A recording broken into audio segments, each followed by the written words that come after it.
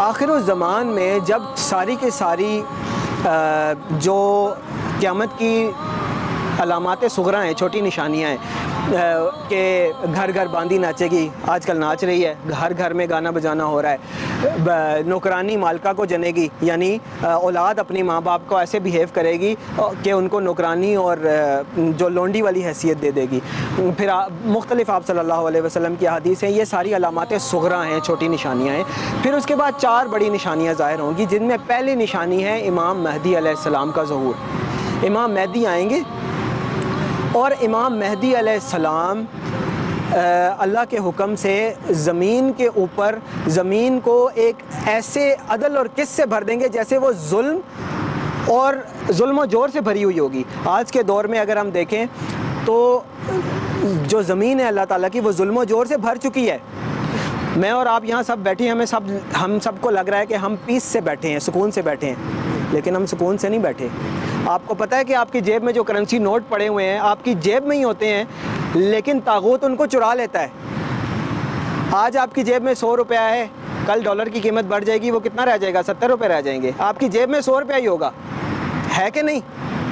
मैं और आप, हम सब अपने बच्चे स्कूल में भेजते हैं, इसलिए कि वो तालीम हासिल करें। हम भी इन्हीं स्कूलों से यूनिवर्सिटी से कॉलेज से कॉलेज से पढ़े हुए हैं। हम जब स्कूल में दाखिल किए गए तो हमारे माँ बाप ने हमें इसलिए भेजा कि हम यहाँ से तालीम और अच्छा अखलाक सीखें। हमने क्या सीखा? हमने मगरब की ग़ुलामी सीखी। अभी आपसे थोड़ी देर पहले अहमद भाई से बात हो रही थी कि यूनिवर्सिटी से पढ़ने के बाद हमें ये लगा कि मगरबी सब कुछ है ताबूत ही सब कुछ है, पैसा ही सब कुछ है। तो इसका मतलब ये हुआ कि आज का जो एजुकेशन सिस्टम है जिसमें मैं और आप अपने बच्चे खुद उंगली पकड़ कर रोज़ाना छोड़ कर आते हैं, वो मेरे बच्चे को मेरी गोद से छीन कर मगरब की गोद में डाल देता है। मुझे ये लग रहा है कि मैं और आप यहाँ सब सुकून से बैठे हुए हैं। लेकिन हमारे बच्चे पीछे मोबाइल यूज़ कर रहे होंगे, अल्लाह ताला सबको महफूज रखे, पता नहीं क्या देख रहे हैं उसके ऊपर। बजाय इसके कि वो कुरान सीख रहे होते, दीन सीख रहे होते, हमारे बच्चे हमारे घर के अंदर इंटरनेट और ये फितना दाखिल होकर हमसे छीन रहा है। कल वो पता नहीं क्या बोलेंगे, अल्लाह ताला हम सबको महफूज रखे। मेरी और आपकी सबकी ज़रूरत कैसी बना दी गई है कि मैं सो दीनदार हूँ, मेरा दिल चाहता है कि मैं बैंक से एक गाड़ी ले ही लूँ। सूद पे गाड़ी ले ही लूँ, इधर उधर से किसी मुफ्ती साहब से कोई ना कोई रास्ता निकाल ही लूँ। तो अगर मैं और आप जो इतने सुकून में, इतनी पुरसकून जगह पर बैठे हुए हैं, वो फितने से महफूज नहीं हैं, जुल्म से महफूज नहीं है। आपके यहाँ इस्लामाबाद में एक लड़की का गला नहीं काट दिया गया? आपके यहाँ इसी इस्लामाबाद में पिछले हफ़्ते ये जो यूनिटी फेथ डिसिप्लिन वाली बाड़ी पहाड़ी है, उसके बाहर एक बराना फ़ोटोशूट नहीं किया गया? ये मेरे और आपके बच्चे हैं ना? हरीम शाह के वालिद कहते हैं कि मैंने इसकी दीनी तरबियत करने की कोशिश की। और मैंने इसको दीन सिखाया, इतनी बड़ी दाढ़ी और रो रहे थे। और वो आज क्या है? तो इसका मतलब ये हुआ कि आज के दौर में इतनी पुरसकून और आरामदेह जगहों पर पुरसकून से रहने वाले लोग फितने और जुल्म से महफूज नहीं हैं। तो यमन में क्या हो रहा है? यमन में क्या हो रहा है? ईद वाले दिन कितने बच्चे भूख से मर गए? फ़लस्तीन के अंदर, अस्सलाम सबको शामिल होने का बहुत शुक्रिया। फ़लस्तीन के अंदर क्या हो रहा है? पिछले दिनों एक वीडियो आई कि वहाँ के आम नौजवान, उनको स्नाइपर्स और क्लाशन कोफे उन्होंने अलाउ की हुई हैं। और जब भी कोई गैदरिंग या बाज़ार और इस तरह की कोई जगह होती है तो वहाँ पे उन्होंने इंसानों के ऊपर निशानेबाजी की प्रैक्टिस कर रहे होते हैं।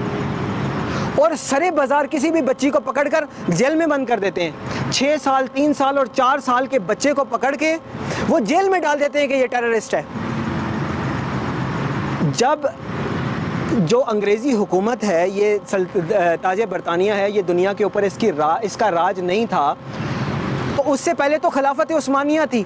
यहाँ हिंद में मुसलमान थे या फिर पूरी दुनिया में खिलाफत उस्मानिया मुसलमानों की एक हुकूमत थी। इसका मतलब ये हुआ कि फ़लस्तीन में बच्चा मरता था तो वो एक इस्लामी बच्चा मरता था मुसलमान बच्चा मरता था।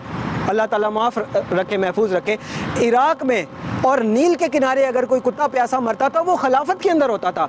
आज मुझे क्या सिखा दिया गया कि कश्मीर तो कश्मीर के बच्चे तो इंडिया के हैं। फ़लस्तीन के बच्चे तो फ़लस्तीन के हैं। मिस्र के बच्चे तो मिस्री हैं।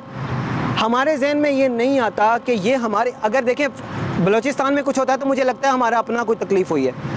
ऐसे ही है, पंजाब में कुछ होता है तो मुझे लगता है कि हमारा अपना कुछ हुआ है, पाकिस्तान में कुछ हुआ है।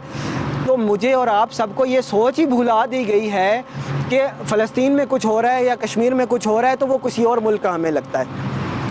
कहने का मकसद यह है कि आज की दुनिया जुल्म, सितम जुल्म, ज़ोर से वैसे भर गई है, जैसे आप सल्लल्लाहु अलैहि वसल्लम की हदीस का मफहम है कि जब दुनिया जुल्म, सितम जुल्म, ज़ोर से भर जाएगी तो अल्लाह ताला के हुक्म से आप सल्लल्लाहु अलैहि वसल्लम की औलाद में से अल्लाह ताला एक ऐसे शख्स को ज़ाहिर करेगा जो दुनिया को अदलो किस से ऐसे भर देगा जैसे वो जुल्म ज़ोर से भरी हुई थी, और वो शख्स होंगे इमाम महदी रहमतुल्लाह अलैह।